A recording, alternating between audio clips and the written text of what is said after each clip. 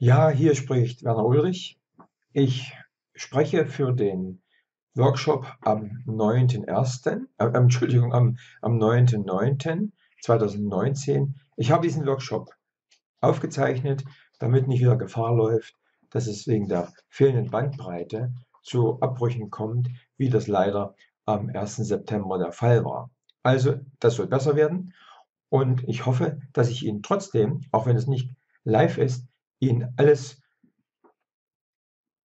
Interessante oder viel mehr Interessantes bieten kann. Und Sie haben in diesem Workshop auch die Möglichkeit, Fragen zu stellen.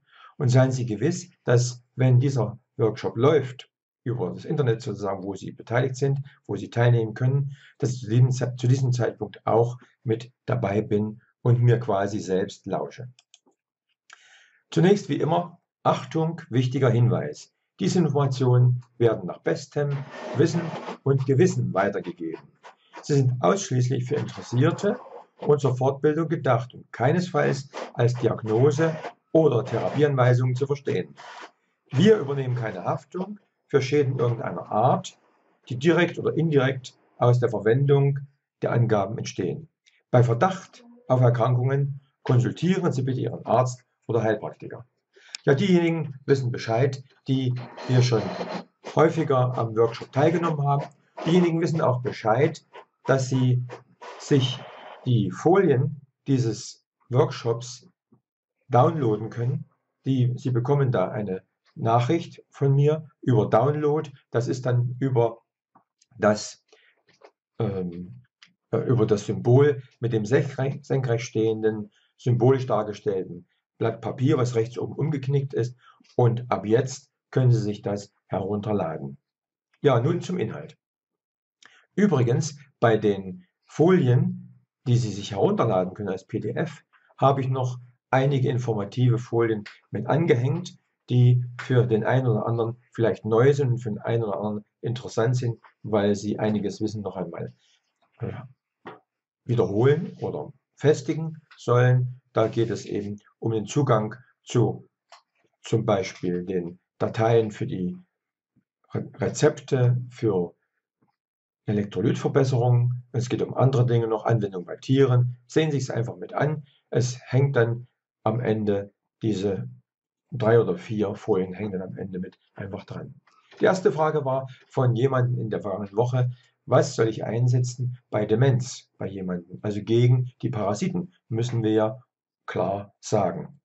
Meine Empfehlung ist ganz klar, C53 ist der Quellencode-Index, Alzheimer Erkrankungen und das hier dargestellte TR, also das große T und R nach dem Unterstrich, sagt, dass es sich um die True Rife Frequencies handelt, also um die Frequenzen, die selbst von Dr. Rife dagegen aufgebaut, gefunden und mit Erfolg bereits sehr häufig angewendet wurden. Es kam eine Frage, kann ich gleichzeitig mit den Anwendern eine Hypnose betreiben?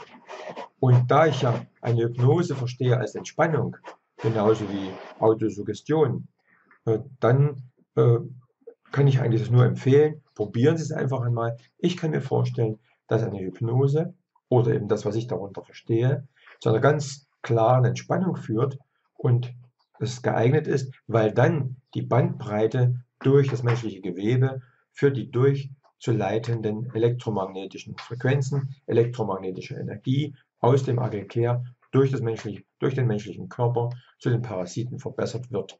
Die Bandbreite verbessert sich ja, das wissen wir, wenn wir die Randbedingungen Ruhe, Ruhe, Ruhe während der Anwendung einhalten, dann haben wir nicht so einen starken Verkehr von Informationen zwischen den Zellen und haben, möchte ich unterstellen, ausreichend und optimal viel Platz, also Bandbreite für die elektromagnetische Energie von Aggregat.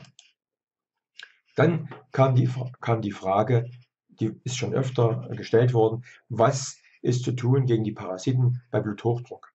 Da kann ich natürlich gleich sagen, die Anwendung mit dem Quellencode-Index A148 Hypertonie ist dafür geeignet, aber Bluthochdruck kann sehr, sehr viele, sagen wir mal, ähm, Ursachen haben, Herkünfte und somit wäre es auch interessant, über Agilcare hinaus äh, bestimmte Anwendungen zu machen.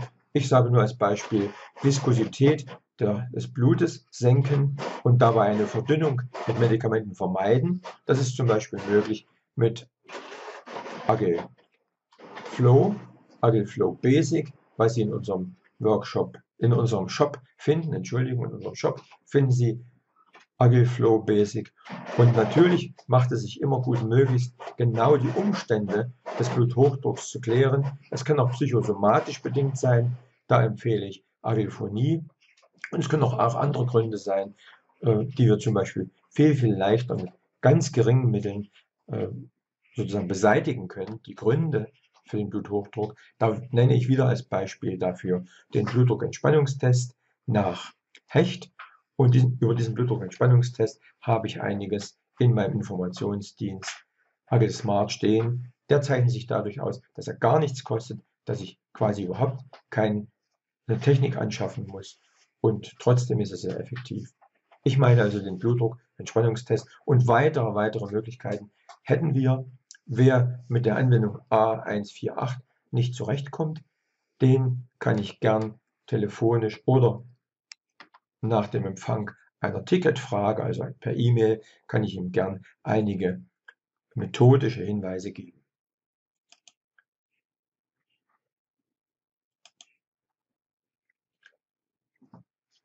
Es kam ein, eine Mitteilung, über die ich mich sehr, sehr gefreut habe, dass nämlich die Anwendung A44, also der Quellencode-Index A44 mit der Bezeichnung Brustkrebs, schon bei sehr vielen Anwenderinnen geholfen hat, die parasitäre Belastung dort endgültig äh, zu beseitigen und zu bekämpfen. Habe ich mich sehr gefreut. Ich gebe das gerne weiter, denn ich weiß, dass einige Anwenderinnen mit dieser Anwendung Orientierung oder Anwendungsindikation arbeiten.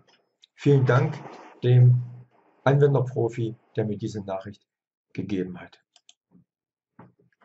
Dann kommt die Frage Basisanwendungen. Wie oft und wie lange? Da möchte ich noch einmal darauf hinweisen, dass die Basisanwendungen zu Beginn gemacht werden sollten, insbesondere dann, wenn wir viele Baustellen haben, insbesondere dann, wenn uns nicht klar ist, wer, woher die Erreger kommen, wie die Erreger heißen. Und da hat sich das herausgestellt, dass man die Basisanwendungen äh, einsetzen soll. Sie finden ja Vorschläge zu Basisanwendungen auf der Seite ulrich-mtc.de slash download. Ich wiederhole, ulrich-mtc.de schrägstrich download. Dort finden Sie ja mehrere Informationen, unter anderem auch die Vorschläge zur Basisanwendung. Wie oft, wie lange? Ja, das hängt natürlich, wenn ich ganz genau sein soll, davon ab, wie wir die Randbedingungen einhalten. Und über Randbedingungen spreche ich dann noch einmal am Ende des Seminars, beziehungsweise Sie finden dort eine Folie als PDF im Download. Randbedingung lautet, ich möchte das hier ganz, ganz kurz machen, dass wir zunächst erst einmal gute Elektrolytbedingungen schaffen sollen. Für die Elektrolytbedingungen, um das zu verbessern, finden Sie auch die Anregungen auf der Seite, die ich eben nannte, ulrich-mtc.de slash download. Halten Sie das bitte ein, verbessern Sie die Elektrolyte durch einen Trunk 20 bis 30 Minuten vor dem Beginn der Anwendung. Dann, wenn Sie die Anwendung gestartet haben, halten Sie ganz strikt Ruhe ein. Machen Sie nicht nebenbei noch irgendwelche Arbeiten am Computer. Haben Sie keine Computerspiele bitte in Anwendung. Haben Sie gleichzeitig bitte äh, keine Kommunikation mit dem Telefon, ohne das Telefon. Bitte völlige Ruhe. Schalten Sie möglichst alle nervalen Reize ab. Ich halte für mich das noch immer so ein, dass ich sogar den Raum abdunkle. Das also während der Anwendung Ruhe, Ruhe, Ruhe. Nach der Anwendung ist es wichtig, dass man entgiftet, wobei die Entgiftung auch am nächsten Tag stattfinden kann. Nutzen Sie bitte meine Anwendungsempfehlungen zur Einnahme von Natur Zeolit 12 Mikrometer. Auch diese Anwendung 10 Mikrometer äh, auch diese Anwendung finden Sie, diese Empfehlung für die Anwendung, finden Sie auf der Seite ulrich-mtc.de slash download. Und es ist natürlich grundlegend wichtig, sauberes Trinkwasser zu trinken. Das wären also die Randbedingungen vor, während und nach der Anwendung. Und damit optimiere ich wie lange Basisanwendungen und überhaupt Anwendungen durchgeführt werden müssen. Sie wissen ja, es gibt Anwendungen, die gehen unter den optimalen Randbedingungen ganz schnell. Borrelien habe ich mich schon daran gewöhnt, dass die mit ein oder zwei Anwendungen geklärt sind. Und die Länge der Anwendung äh, ist dann sozusagen klar, ein bis zwei Anwendungen dort. Bei Tumoren, bei den Parasiten, die bei den Tumoren zutreffen, also gegen die Parasiten, setzen Sie bitte mindestens 90 Tage ein. Und äh, wie oft? Sie können am Tag selbst in den ersten fünf Tagen bitte nur eine Anwendung machen, wegen der begrenzten Entgiftungskapazität. Und ab Tag 6 können Sie sukzessive, also sukzessive jeden Tag eine Anwendung mehr machen, was Ihr Zeitfonds da eben hergibt. So, und wenn Sie sich so daran halten, dann haben Sie mit nur wenigen Anwendungen, die auch nicht über lange Zeit gehen, haben Sie bestimmt das Vorgehen optimiert und Sie können erfolgreich arbeiten. Ja, das waren schon meine Hinweise. Jetzt äh, bitte Fragen. Die Fragen tragen Sie jetzt bitte, weil wir hier eine Aufzeichnung haben, tragen Sie bitte unten rechts ein in Ihr, Ihr äh, freies Feld.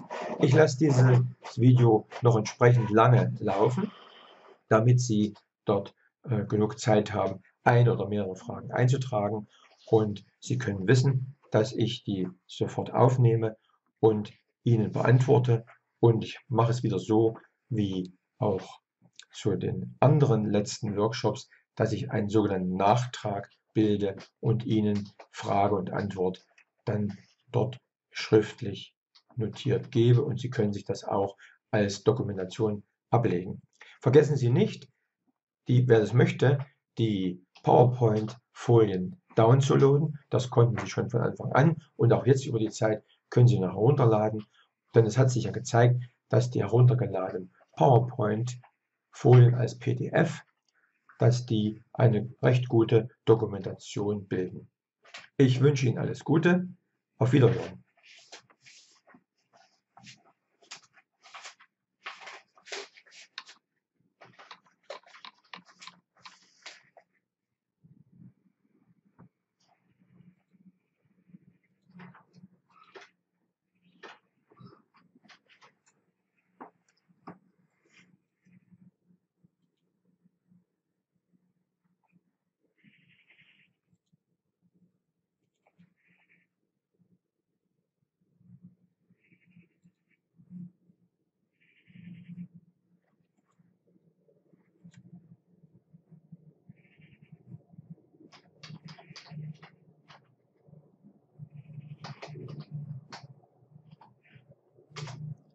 Sollte Ihnen die jetzige Zeit nicht ausgereicht haben zur Eintragung Ihrer Fragen, dann haben Sie natürlich die Möglichkeit über das Ticketsystem, den Zugang haben Sie auf meiner Seite ulrich-mtc.de und dort wählen Sie bitte Support. Im Menü haben Sie die Möglichkeit, mir Fragen zu stellen und Sie können mir die Fragen auch per E-Mail senden an meine E-Mail-Adresse.